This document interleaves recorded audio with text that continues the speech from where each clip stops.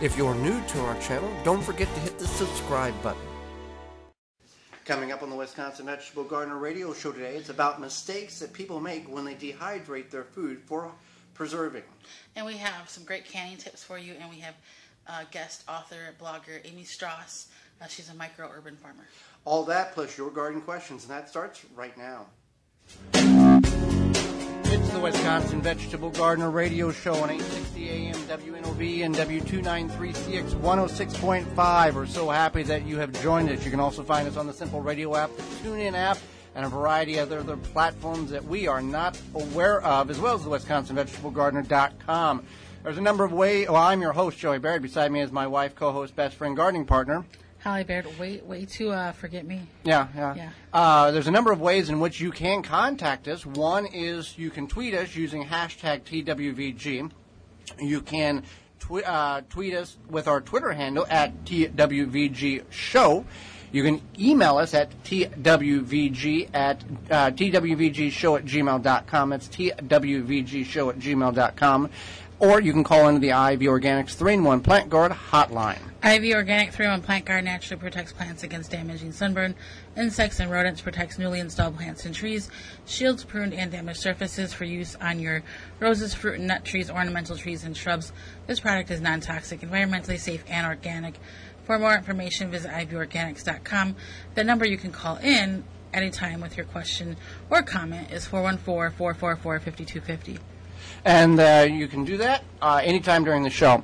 Well, we're going to get into the program, and uh, when people preserve, and, and we've talked about this on the program several different times, there's a number of ways in which you can preserve your harvest. You can can, we'll talk about that in the second segment. You can just eat it as it is. You can freeze it. You A- can even keep some things in the refrigerator for a while too. you, you can ferment it Yeah, as ferment well. as well. So one of the things that we're going to talk about is dehydration of food. This is a great way in which you can preserve it for literally years, to a certain degree, if it's kept in a proper uh, area environment. Mm-hmm. Uh, the dehydration. Okay. First of all, let's talk about what we bring this up. Nesco is a sponsor of our garden talks. You, you've been with us at, at our library talks and other locations. Nesco, the dehydrating and slow cooking uh, company, uh, out of, uh, they they sponsor the talk. So we're going to bring up the. They've got great dehydrators, and you can get any type of dehydrator. Uh, what is best to dehydrate your food with is a dehydrator that has a fan that pushes the air through the material. There are different dehydrators in which there's a heating coil at the bottom, and we're not asking you to go buy something from Nesco. I'm just explaining to you what the best unit, if you're going to go buy one, is. Uh, there's heating units or coils in the bottom of these units that the heat gradually raises rises up with no force of fans whatsoever. I have found from personal experience those do not work very good at all. You want that force of warm or hot air blowing through the trays, through the food to dehydrate it in a even fashion, in a timely fa- fashion. Uh, that's the best dehydrator that we have found that works. There's five mistakes that people make when dehydrating. You know, you would think, okay, I'm just going to take some tomatoes or peppers, whatever, throw in the dehydrator, and 12 hours later I'm going to have dehydrated peppers or sun-dried tomatoes. That's not really always the case. Right. So, one thing you want to keep in mind is that you don't want to over or under dehydrate. So, you kind of have to watch it. Um, there's lots of recipes online, all that information. They come with a guideline And they do come with a guideline. and, yeah, and a temperature gauge on most of these units between 90 and 145, 160 degrees. And it says approximate for approximate time. This is not, you know, science. Based on food all has different water consistencies. And that's the biggest thing is that you don't want to under dehydrate because if you under dehydrate, then when you store it, it could possibly mold. It could just mushy, something like that. Right. It's not. It's still having that water consistency, that percentage of moisture, that again will mold, uh, and then you've not you've wasted the time of energy. Right. So there's that, um, and then over dehydrating, you're just going to Turn into a leaf. pretty much like it's not going to be tasty, I think, or it's going to be very brittle. There's like a six to eight percent moisture con- content that you want in these. You want them to be, you know, not bone dry, leaf fall dry. You want it to have some consistency, a little moisture that holds on to the the that's in the the item. And the reason why we dehydrate, what is occurring, Holly, whenever we dehydrate, let's say, basil or thyme or tomatoes or peppers? What, what is really occurring? Sure. So what is What's going, being removed and what is Well, staying? the liquid of or the yeah the moisture of the food or whatever is being removed and the the main properties of that are staying. The So flavors are the staying. flavors are The staying, oils are staying. right. The the beneficial parts. So essentially, when you dehydrate something, basil is a good example, or herbs, you're removing the moisture content, the water, but you're leaving the properties and the oils and the flavors, which actually intensifies the flavor of that particular item in which you're dehydrating. Right. So that, that allows you to get, you know, tomatoes. We did sun dried tomatoes. That's what we call them. That's what is called in the industry. But you put them in a dehydrator. Uh, and we find that it really eliminates almost totally the acidity that you're used to when you eat, an, eat a red tomato. And they get really sweet. They're very sweet. It's almost like candy. It's, Yeah. it's tomato candy is Yeah. Mm-hmm. essentially what it is. Uh, obviously, not everybody likes that flavor. Now they work phenomenal if you're making noodles. Throw them in right at the end. They get a little soft, a little chewy, but they add that sweetness that you're not. It's a totally. I, I, don't want to say it's a totally different property, but it's a it's a totally different taste. You're you wouldn't expect that on a dehydrated tomato to have that type of uh, flavor. You're used to that acidity, that little bitterness opposite when it comes to the dehydration of the tomatoes. Definitely. So yeah, over or under, big big difference. You got to pay attention. This is not a put in, walk away, come back type of thing. There's some finessing that you have to understand with a particular machine, the environment in which you are in, your house, the, the dryness or the, the dampness of the air. So that's one. and then um, you want to make sure you're you're attention to, to the thickness, um, and then the so that's Well, just like when you're doing any type of cooking, if the consistency is the same, it will all cook at the same rate. You don't have stuff overcooked or undercooked if you're cooking potatoes or whatever. Right. case- Yeah. Yeah, so that's one. That's another one. Uh, the temperature. So again, it's going to come with a guideline, and but you can also find many resources online, books, um, all sorts of good information. But the temperature is key because if you dehydrate it at too high of a temperature, too low, depending on what it is, it might not dehydrate properly. Too fast, too slow. So that's why you want to make sure you're doing the right temperature. And people will ask us, can I take my seeds, my onion seeds, my bean seeds, my tomato seeds, and dehydrate them to get them to dry out so I can store them? The answer, the safe answer is no, because if you dehydrate your seeds, let's say you got a whole bunch of bush bean seeds that you're trying to dry out to, to, to store. If you dehydrate them at too high of a temperature, you will destroy the germination inside of the seed, and then you have no. It's not good. Your best option when when drying seeds, put it on a plate in an indirect area of uh, in the corner where it doesn't get direct sunlight. Let it dry naturally for two or three weeks. Then you know the properties and the germination is as good as it possibly can be, just like it would be drying on the vine out outdoors. Don't put it in a heat environment like a dehydrator. It's not going to be good. Right. So that's another one. Um, you want to taste test your recipe before dehydrating. I think that's important because, uh, for one, you're going to spend the time and energy to dehydrate. How do you do this? Like, if you're making a consistency like homemade fruit roll-ups, you can taste that liquid. Yeah. Or like some people make. I made dehydrator cookies once, so I tasted the recipe before. It was like a soaked oats type thing.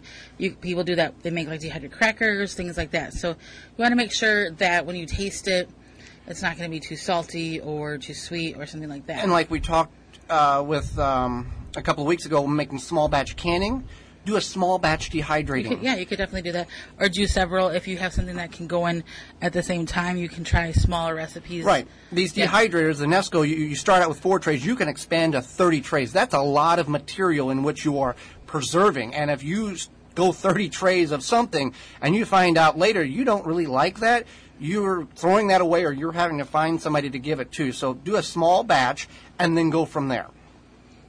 Then we also have, um, you want to make sure you're storing it properly.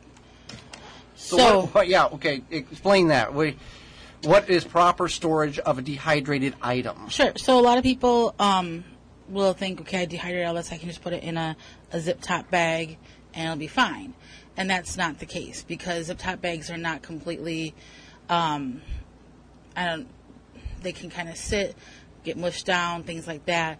Um, so There's no do- structure there's to no that. structure to that, right? So what you It- can it- do. okay, so it's not so much that it will go bad in a Ziploc bag. It's the storage properties that you know crushed, and now you've got a bunch of crumbs, or is that a little bit of both? Kind of both. Okay. Um, so then what you want to do is do something like glass jars. You can use like old mayonnaise jars or whatever peanut butter jars, as long as they're glass. Glass. Okay. And then, or you could do like we do half gallon mason jars. And Um, these these work great for ones that's got cracks, chips that you cannot safely can in. Yeah. Yeah. So you could do like quart jars or whatever, and then you just want to make sure the lid is on tight. Some people will do like a vacuum seal on them as well. So it kind of is is um And, and you can do decorative jars, or, or you know, as long as that lid is sealed properly. Uh, now there are some things in which you know we dehydrated last year for the very first time. We tried lettuce, leaf lettuce. that was weird. That was weird, but it, it was it was different, but it worked. Why did we do leaf lettuce? Um, Well, I was going to see if we could like do it for uh, add a flavor to soups or stews or something. I just was experimenting on that procedure. Leeks. Uh, people in the United States were tr- were trained to eat the lower bleached or white portion of the leek. Most any other country you go to, they eat the whole leek. The whole leek is edible. So the green portions we chop up and dehydrate. You can also just put it right in your stir fry, soup, stew, whatever, or eat it just as is. Uh, tomatoes we talked about. We did cucumbers and the yard long cucumbers, which MIgardener sells and we're growing. When dehydrating, they, they are very close to a melon taste consistency. They get 36 inches long. And when dehydrated, they almost taste like sweet candy that you would get from the fair. Uh, very, very unique. We have dried, uh, dehydrated okra. Takes the greasiness out of the okra. I still don't like it. You can also, with cucumbers, we've dehydrated just normal pickling cucumbers, Yeah. and sprinkle a little dill weed on it. So you basically have a dehydrated pickle. Is- Kind of. Yeah. Uh, Yeah, uh, it does taste good though. and you can dehydrate the pick, uh, the cucumbers and put it in water and infuse your water with. Uh, Not maybe not the dill ones. Not the dill ones, the- dill the plain The ones. The plain ones. Yeah. Yeah, unless you like dill water. so dehydrating is a great way. It's an it's a small investment to preserve a lot of food very easily. And then all you have to do is rehydrate. And you can do trail mixes, you can do uh, fruit roll ups, you can do all of this stuff on a very cheap scale, but on a more healthier level than what you would buy in the store. Well, when we come back, it's about Holly, and uh, she's going to go over uh, several canning tips that you're going to need in order to can the harvest. If you don't want to dehydrate and you're going to go can, what you can do to, dehy- uh, to, to can your harvest safely so you don't have to worry about being sick from eating what you've canned right after this.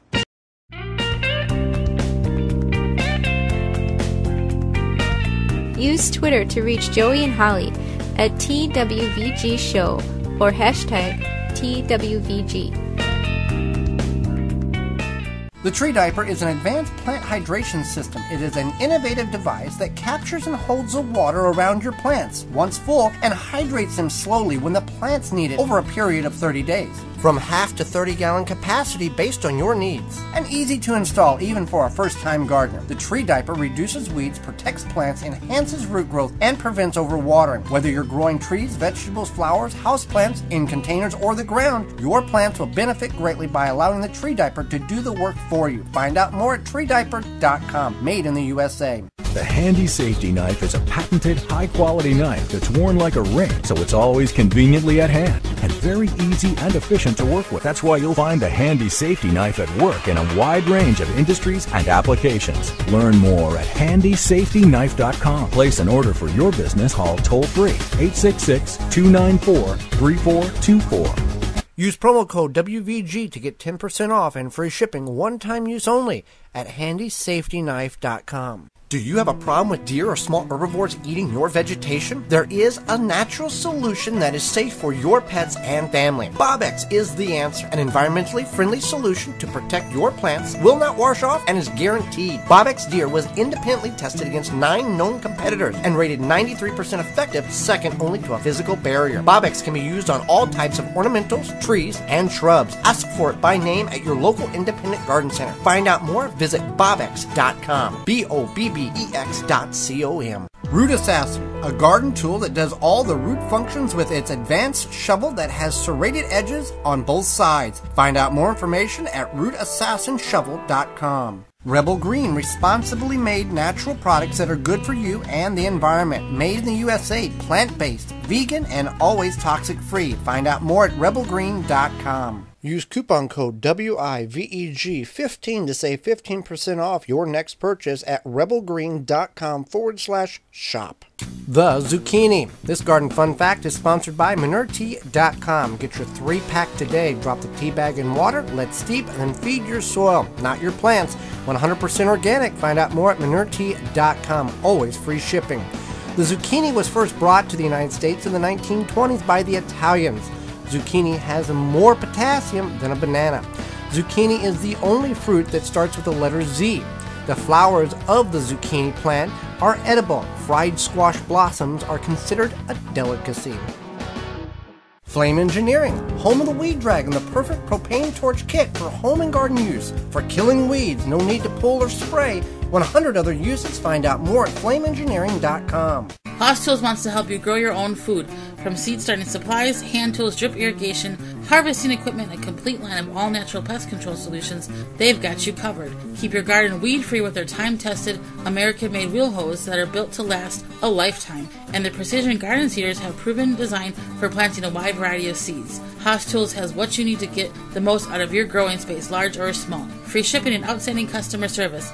Shop online or request a free catalog at hosstools.com. Blue Mel's Garden and Landscape Center offers an awesome selection of high quality garden and landscape products. We have just the plants you're looking for annuals, perennials, veggies, herbs, and more. Plus, you can always count on us to answer all of your questions and offer expert advice. Blue Mel's also carries the largest selection of bulk landscape materials in the area. Enjoy a beverage from our coffee shop while your kids run around in our huge playground.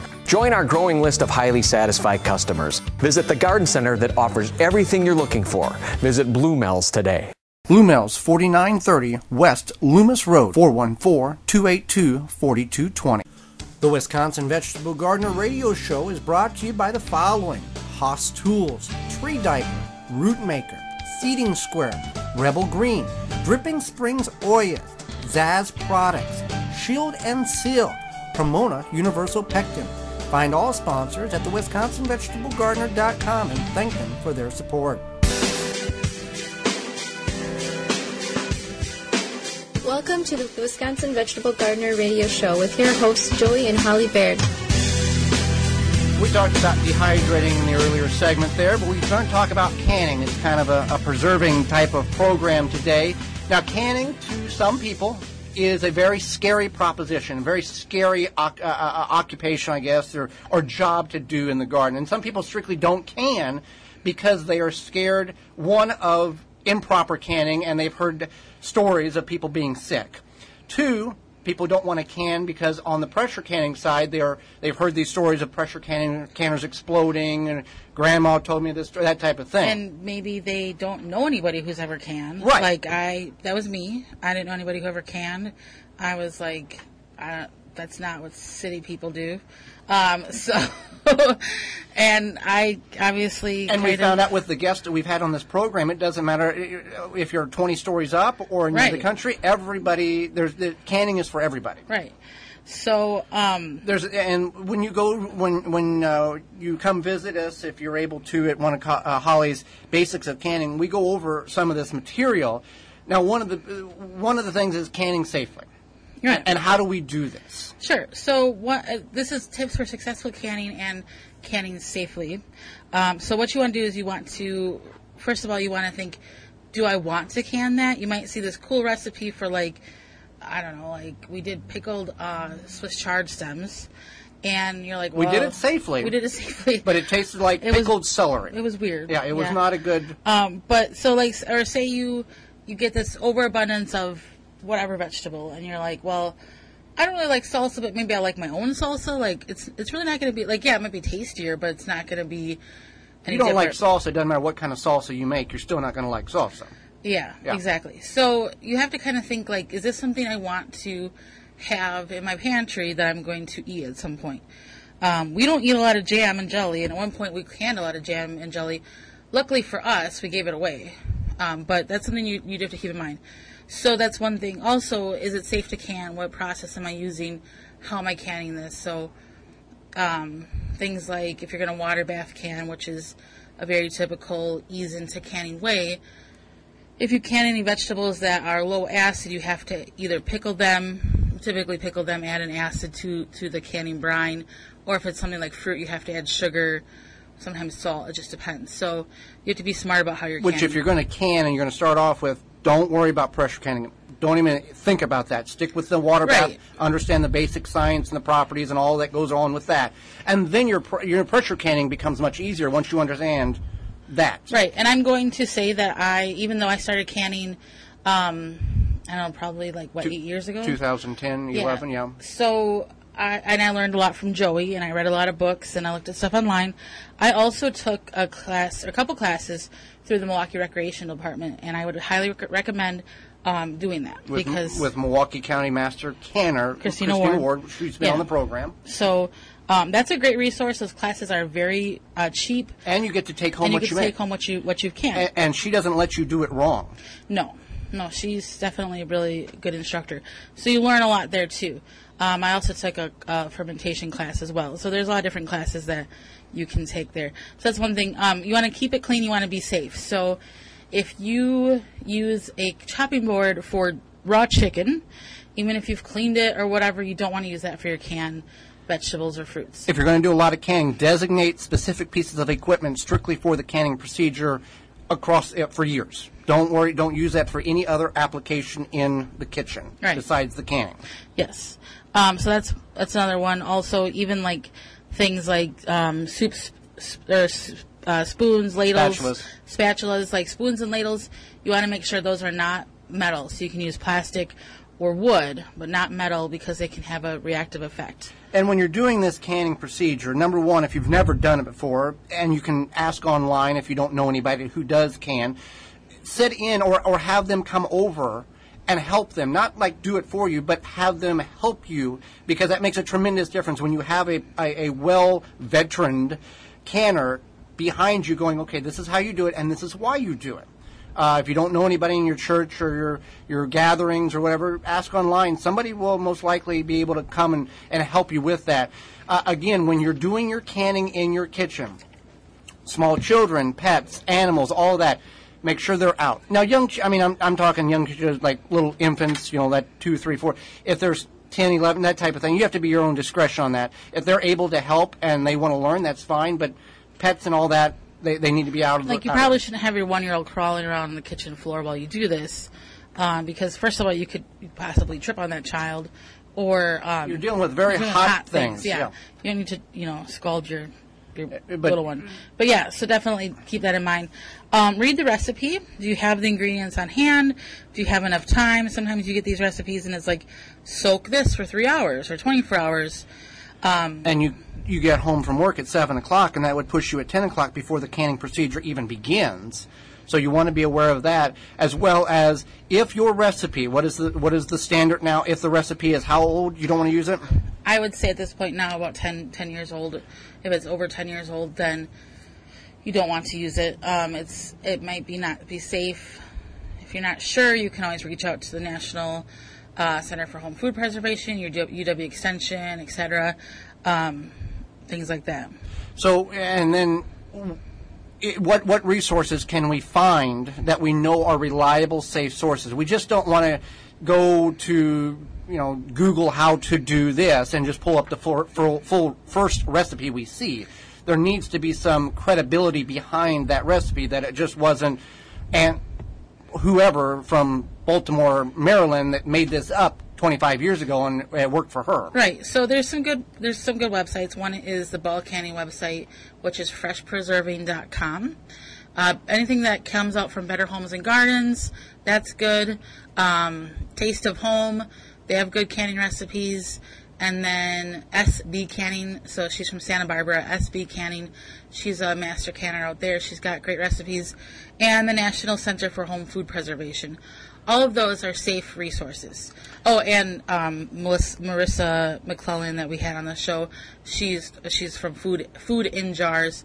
She's great too. If you just search and you're in the Milwaukee area, search Master Canner of Milwaukee County, she will come up as that. So use the use the right equipment on, get the right equipment, make sure you have the right equipment on hand. And with anything, cooking, preserving, the fresher you can get, the better it's going to be. If you're, you know, if you don't want to harvest cucumbers on Monday and then decide to pickle them on Sunday afternoon, they're going to lose a lot of flavor, a lot of structure to them because they begin to break down after you harvest them. That's how organic and, and produce and nature works. As soon as something is harvested or dies, it begins to turn we back get, into we get a lot of questions about mushy pickles, and one thing I have to say is that one is that as soon as you as soon as you harvest them, you do want to can them. So if you're like, um, I just want to do a small batch real quick, then do a small batch real quick. Another thing is to work quickly. Do not let those sit in that brine for a long time. Make sure you pickle Make the sure you- right kind of pickles or cucumbers. That too. There's Yeah. pickling cucumbers and slicing cucumbers. Don't intermix the other because they do turn right smushy. definitely you just want to work quickly and you if you are really that bothered by cucumbers being too mushy then do like a refrigerator method Or do a small instead of quarts, do pints because they're in the heat less and they become opportunity of less uh, soft and more crunchy. Definitely. And finally, don't overwhelm yourself. Let's start small. Just like gardening, don't decide you're going to do 300 jars and then 25 jars into your season, you're like, I'm done, not going to do this anymore. Be smart about it. Understand how much you feel you can actually handle with the time that you have available, and then do it that, and then gradually work yourself up uh, to a point where two years ago we did 320 jars. Last year our, our harvest was not that great, and we didn't do nearly that many. But um, know what you're capable of doing. Well, when we come back, Amy Stross, author, blogger from Ohio, will be with us talking about micro urban farming right after this.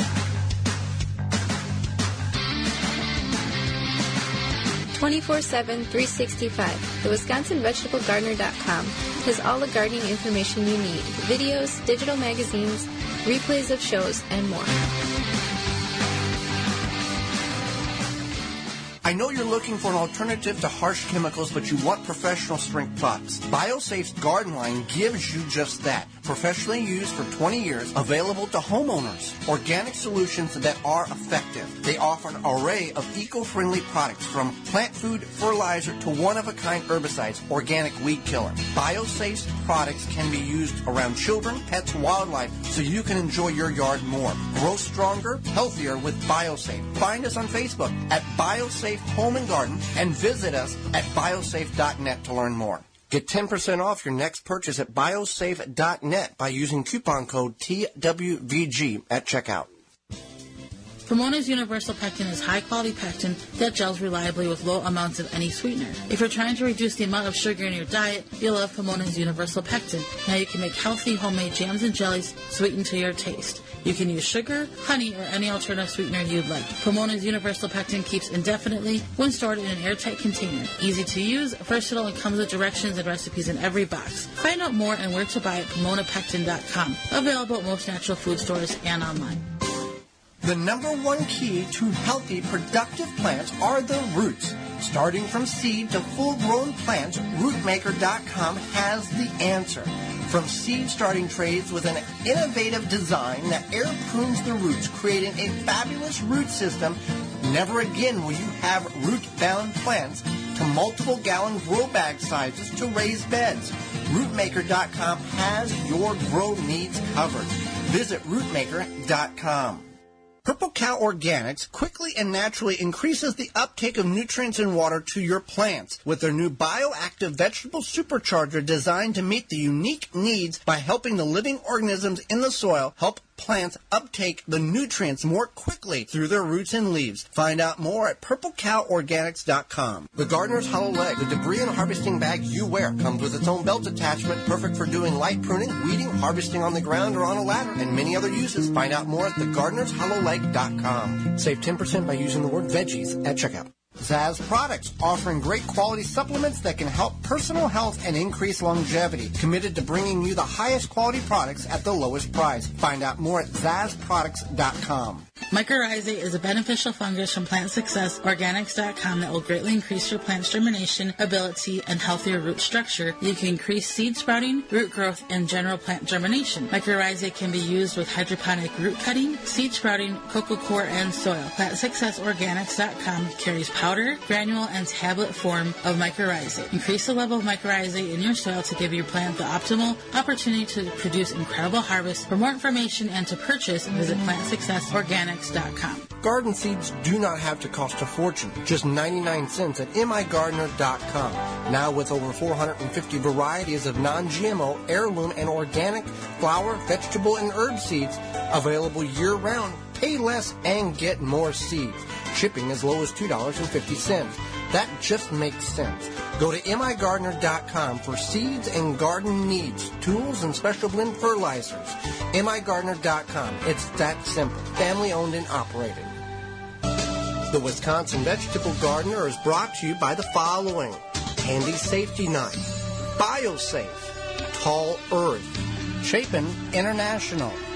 The Plant Booster, Ivy Organics, Woodman's Market, Blue Mel's Landscape and Garden Center. Find all sponsors at the WisconsinVegetableGardener.com and thank them for their support.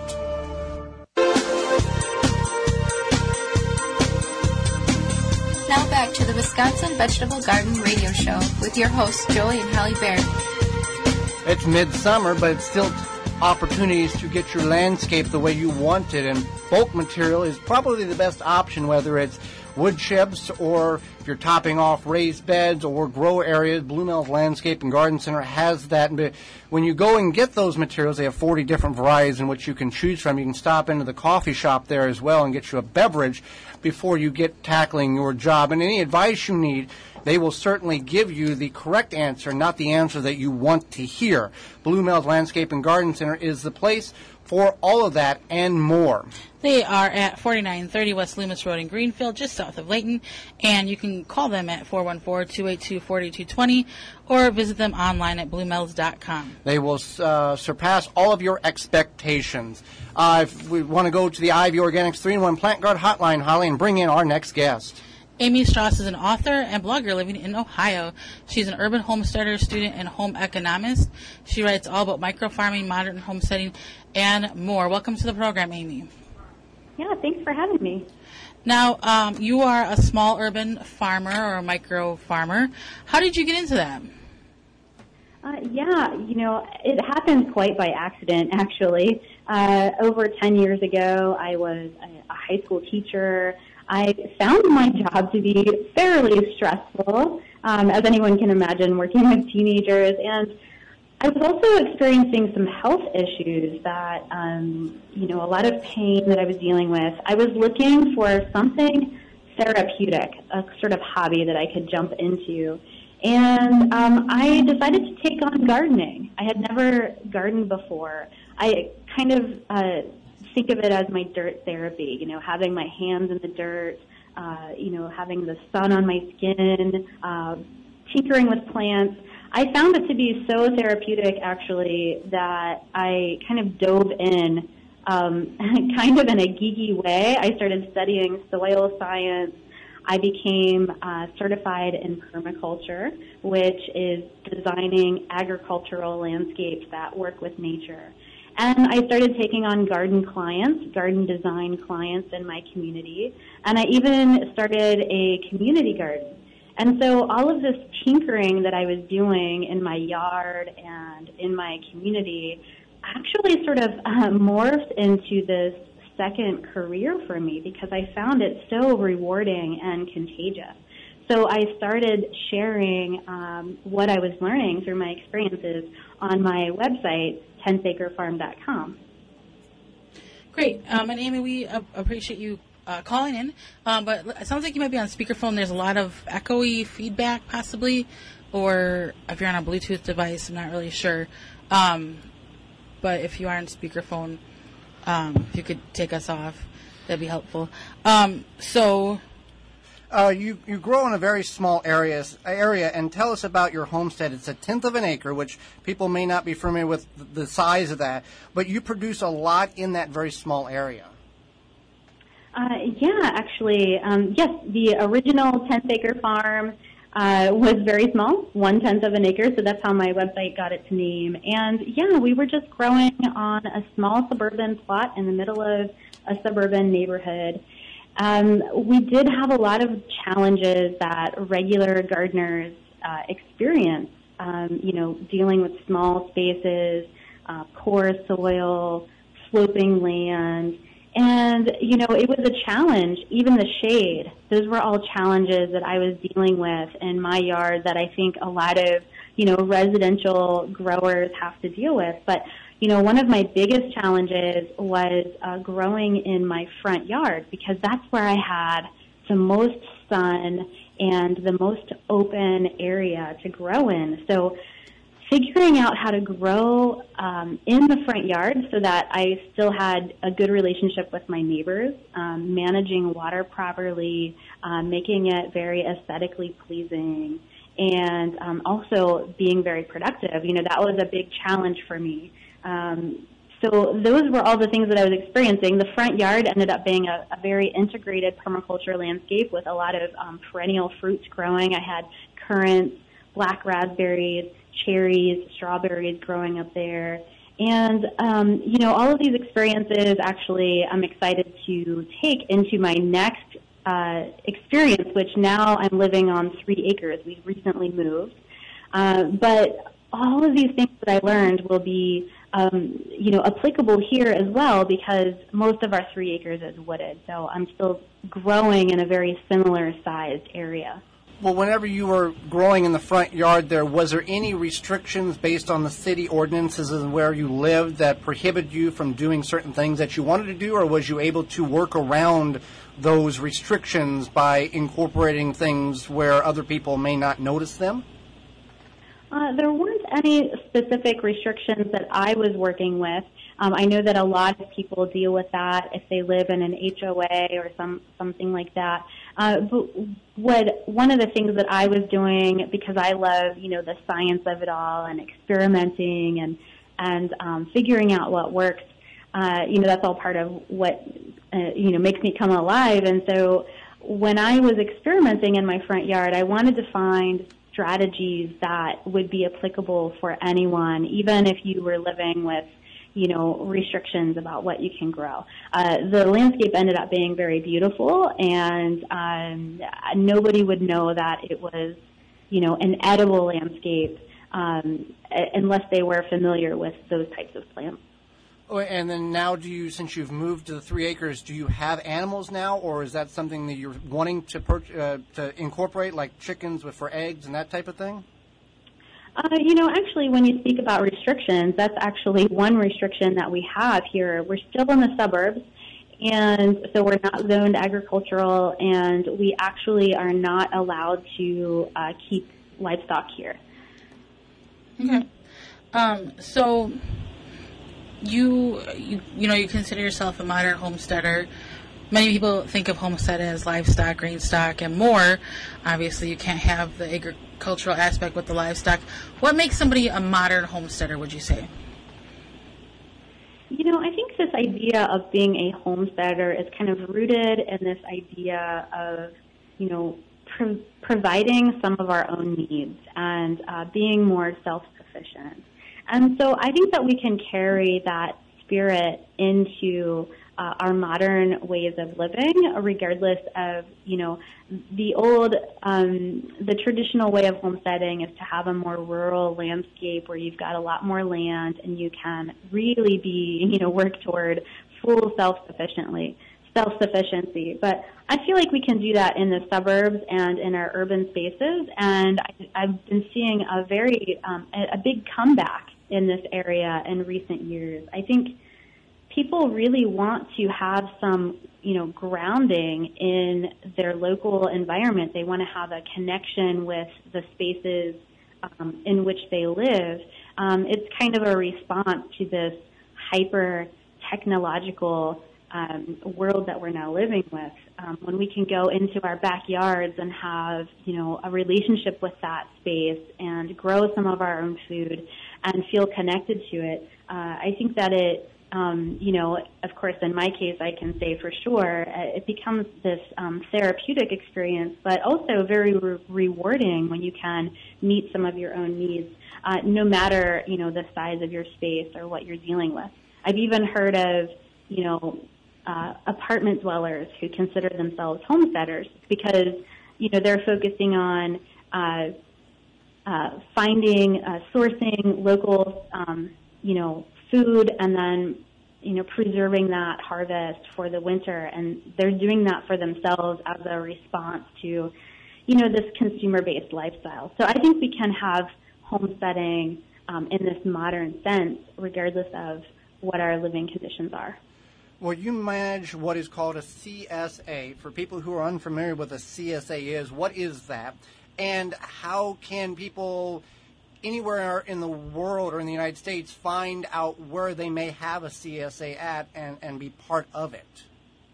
Uh, yes, I have managed a CSA in the past. Um, when I first started over 10 years ago, I got involved in a CSA as a participant, and CSA stands for Community Supported Agriculture. And in this uh, type of setup, you have a, um, a relationship with a local farmer. Uh, it's a subscription-based model, so at the beginning of the growing season, you would pay an annual fee. And um, this is sort of an investment into your local farmers, and it helps them buy seeds and equipment and materials to get the season going. And um, and then in return, you get a weekly share of produce.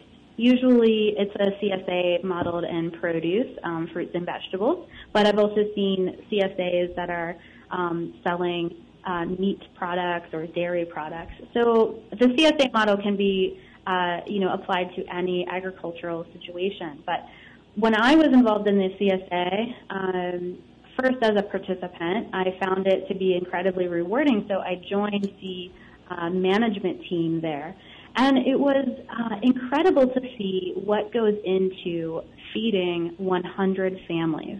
That's, uh, you know, the um, administration behind that and the hard work of the farmers to coordinate it all and make it happen when every year you're dealing with different, you know, temperatures changes, uh, rainfall changes, and different weather conditions that are beyond your control, and still you have to figure out how to eke out, you know, this uh, produce for the number of shares you have. It's an incredible experience, and what I find is that the CSA program helps us learn how to use and preserve um, you know, the food that's coming in throughout the garden season. So when you go to be a gardener yourself, you'll the CSA is kind of a stepping stone that helps you get um, connected with that side of things, um, what to do after you've harvested things.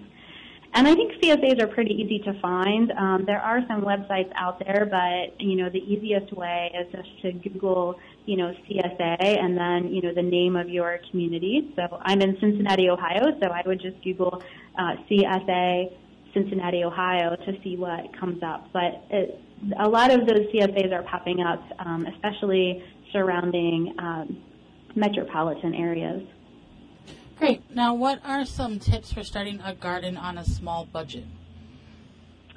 Uh, you know, I think we can use tips for starting a garden no matter if we have a big budget or a small budget. My answer would be the same because I think, um, you know, as gardeners, we're so excited to get started um, when we think about having a garden.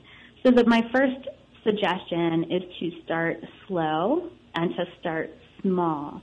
Uh, when you start with a small garden, you can always work up. You can always increase your garden space over time as you learn to manage it. What we don't want is for you to start out as a beginning gardener um, with a very large space to garden and you quickly become overwhelmed and we don't want it to become something that's not enjoyable. We don't want it to become a source of stress.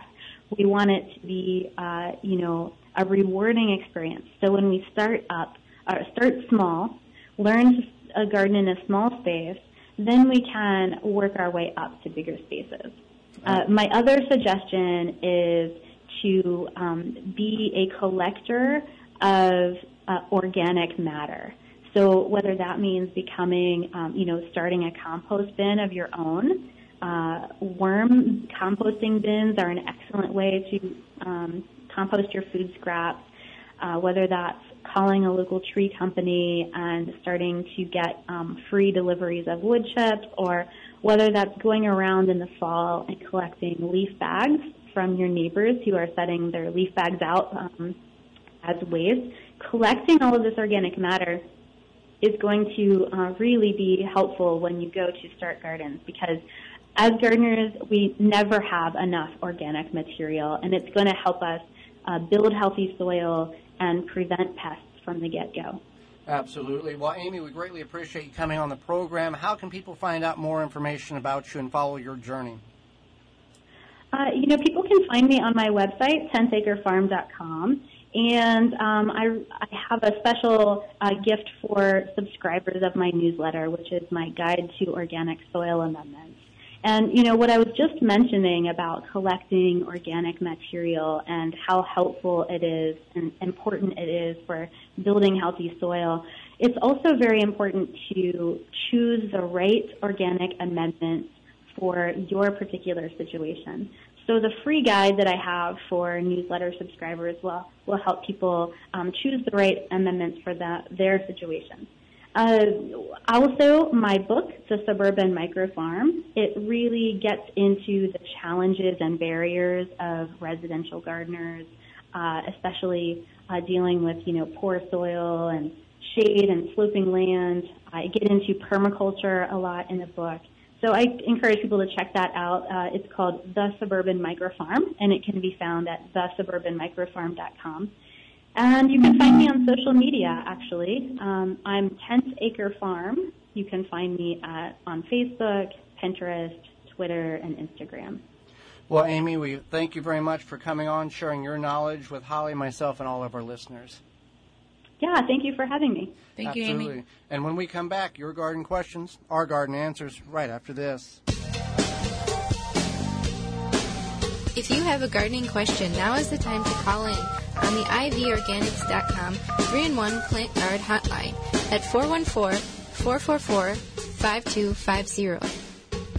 Do you enjoy hanging baskets but struggle to keep them properly watered? The Plant Booster Self-Watering System is a mechanical system that will ensure optimal soil moisture at all times by reacting to the weight of each plant. The weight of each plant tells the system how much water it needs. Unlike a timer controlled system where all plants get water at the same time, whether they need it or not. Also ideal for condos or apartments with no outdoor water source. Check out details, videos, and extensive explanation and ideas for application at plantbooster.net. I know you're looking for natural and organic food, but at a great price. I found the place. Woodman's has what you need. Woodman's offers a huge natural and organic selection with some of the area's largest organic meats, produce, and dairy departments. Shop consciously, but it won't break the bank. They have aisles of all the organic food, snacks, and treats you've been looking for so you and your family can eat healthier without overpaying. Visit their Milwaukee area store locations, Kenosha, Menomonee Falls, Oak Creek, and Waukesha, or visit woodmans-food.com to find the nearest location to you. Beans and Barley Marketing Cafe, a neighborhood specialty grocery store for the east side of the greater Milwaukee area where you can find all you need from fresh produce to bakery to organic frozen dinners, from wine to fresh squeezed carrot juice. A health food store with hundreds of products, vitamins, supplements, bath and body items, magazines, cards, books, and a knowledgeable staff. Catering available, open daily at 8 a.m. The restaurant serves breakfast, lunch, and dinner seven days a week with a menu of good, healthy, homemade food, including vegetarian and non-vegetarian specialties. 1901 East North Avenue, Milwaukee, 414-278-7878, and online at beansandbarley.com. Tall Earth Wood Treatment All-in-One Preservative and Stain offers lifetime protection and creates a unique silver-aged wood finish. All ingredients are non-toxic, eco-friendly, perfect for garden beds and veg front. Find out more at tallearth.com. Free shipping on all orders. Use coupon code W-I-S-C-O-N-V-E-G to save 15% off orders placed at tallearth.com. Shield and Seal vacuum sealers and the highest quality vacuum sealing products. Unique black and clear and all black bags protecting your produce and product better than traditional bags. Find out more at shieldandseal.com. It's that time to get your lawn lush and green with the Chapin spreader, the broadcast spreader that outperforms all in their class. Get consistent results year after year as if you'd hired your own professional lawn service. Find Chapin spreaders online or order through your local Home Depot, Lowe's, True Value, or Do It Best hardware stores. To see the full line of Chapin lawn and garden products, go to www.chapinmfg.com. This season, arm yourself with the better spreader, Chapin. Blue Mel's Garden and Landscape Center offers an awesome selection of high quality garden and landscape products. We have just the plants you're looking for annuals, perennials, veggies, herbs, and more. Plus, you can always count on us to answer all of your questions and offer expert advice. Blue Mel's also carries the largest selection of bulk landscape materials in the area. Enjoy a beverage from our coffee shop while your kids run around in our huge playground. Join our growing list of highly satisfied customers. Visit the garden center that offers everything you're looking for. Visit Blue Mel's today. Blue Mel's, 4930 West Loomis Road, 414-282-4220. The Wisconsin Vegetable Gardener Radio Show is brought to you by the following. Hoss Tools, Tree Diaper, Root Maker, Seeding Square, Rebel Green, Dripping Springs Oil, Zaz Products, Shield and Seal, Pomona Universal Pectin. Find all sponsors at the WisconsinVegetableGardener.com and thank them for their support.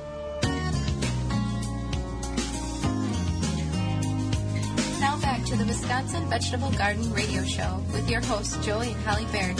You can certainly give us a ring, jam your fingers and phones. If you've got a question about gardening, you can do that for the Ivy Organics 3 in 1 Plant Guard hotline. Yeah, you can call 414-444-5250.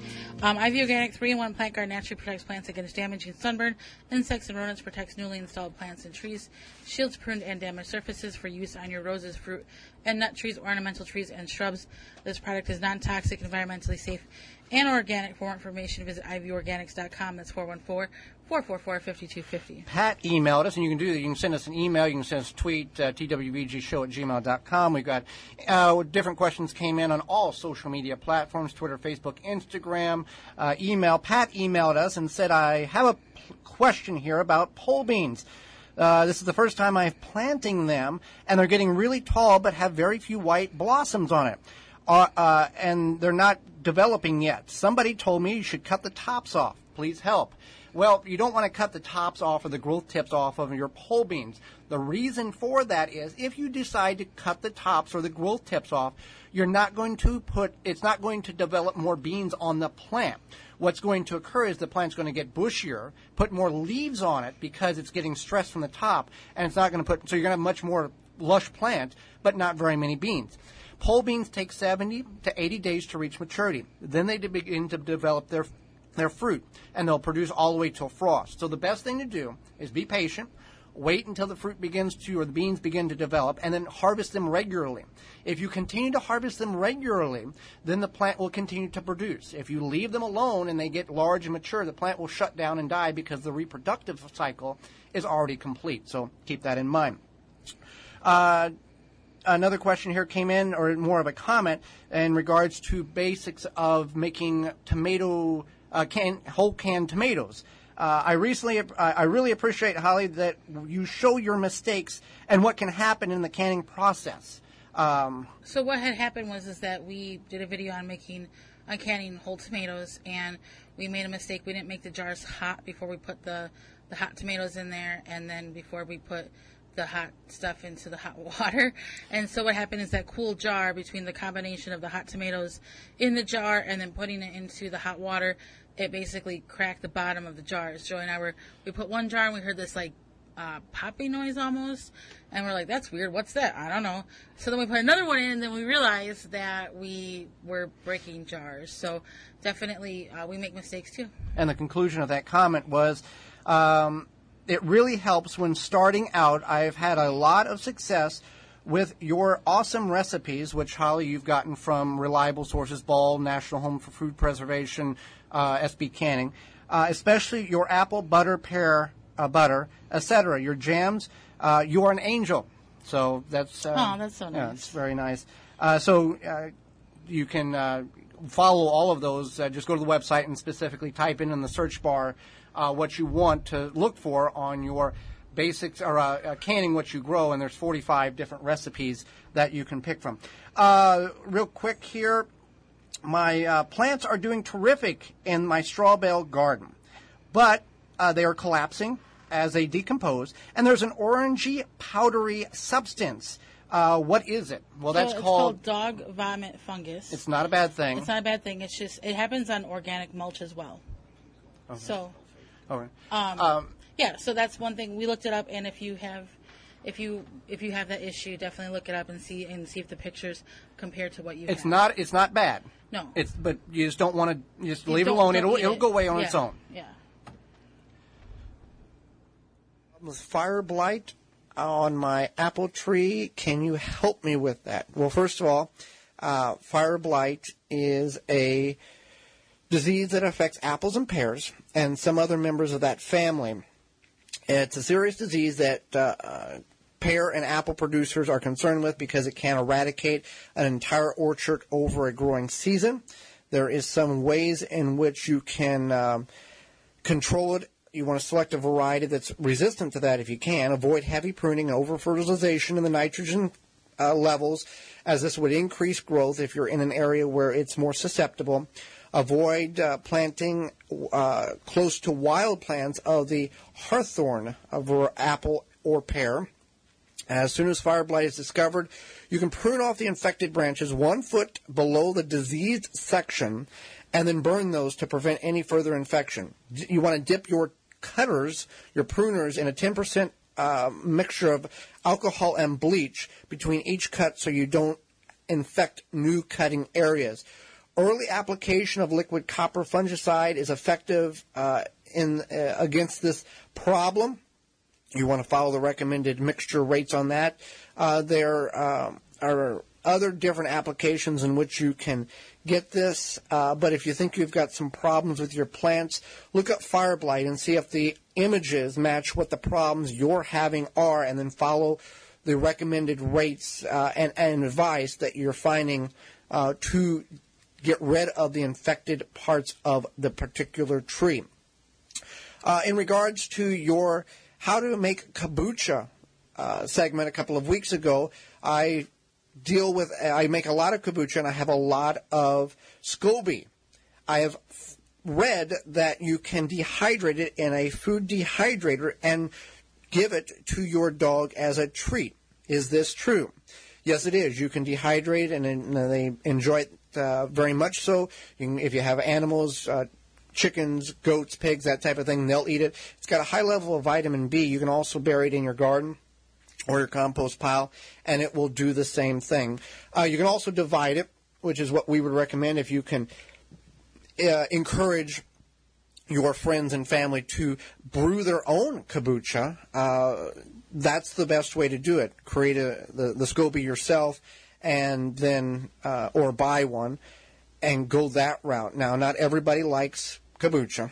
Uh, so you want to make it and see if they like it first and then you can encourage them to brew their own. I've taken it to some friends, and they were not at all fond of the taste.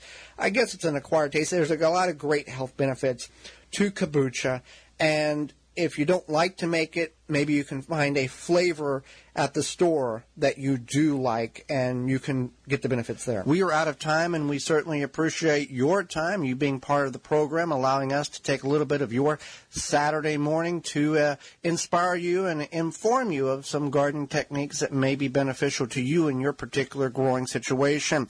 Join us next week, programming note we're going to discuss, and we want to hear from you. Why do you garden? Who influenced you? Was it an aunt? Was it an uncle? Did you see it on TV? Or was it a choice that you made that was best for your family? We want to hear your stories, as well as what is the Mittleider gardening method. It's a technique that some people are not familiar with, and it's not always for everybody. We'll go over the details on that as well as our guest, Lisa Davis, MPH. She is the host of NPR's It's Your Health. She's also an author. She'll be with us to talk about healthy living uh, and healthy eating. Miss any portion of this program or want to revisit it in its entirety, you can certainly find that at the website, the WisconsinVegetableGardener.com, under the radio tab. And if you want a specific interview or individual highlight uh, segment, you can find that under the highlight tab on the right hand side of the main page. And we're on many platforms iTunes, Stitcher, Podomatic, Google Play, uh, TuneIn, and a variety of other ones. Well, until next week, for Holly Baird, I'm Joey Baird, and we will see you in the garden. You have been listening to the Wisconsin Vegetable Gardener Radio Show. Tell a friend and join Joey and Holly again next week so we can all grow together. The Wisconsin Vegetable Gardener Radio Show is a production of the WisconsinVegetableGardener.com in association with WI Garden Media Broadcast live from the WNOV 860 AM and the W293CX 106.5 FM Courier Communication Studios in Milwaukee, Wisconsin.